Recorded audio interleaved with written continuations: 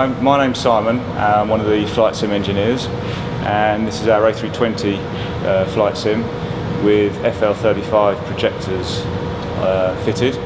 It's a 200 degree mirror by 40 degrees and we chose the FL35s for this type of mirror because of the resolution um, and to aid the clarity of the picture and the uh, basically the focus of the picture and we are very happy with the uh, results um, so far.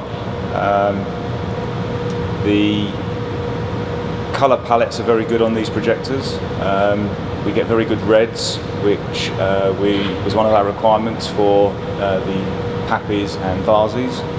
Um, and we've had very good feedback um, with regard to the colour palettes on these projectors.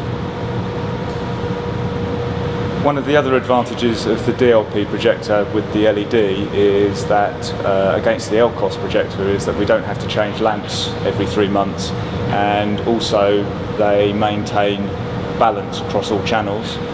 Um, we have less maintenance activities at night on these projectors because we don't have to uh, do the calibration and the colour balance uh, checks and they're maintaining their brightness. We're currently getting over six foot Lamberts, um, just shy of actually seven, so it's exceeding the uh, what we're actually trying to achieve. So.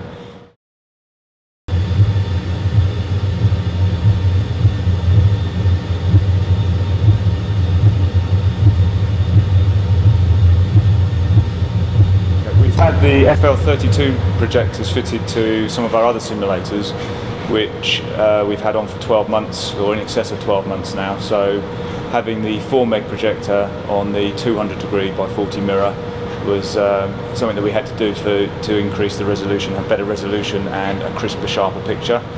Um, and we've been maintaining or checking the brightness levels and they've been very consistent, uh, exceeding six foot Lamberts and the good cross cockpit balance has, was also maintained. So we are um, very pleased uh, with the results.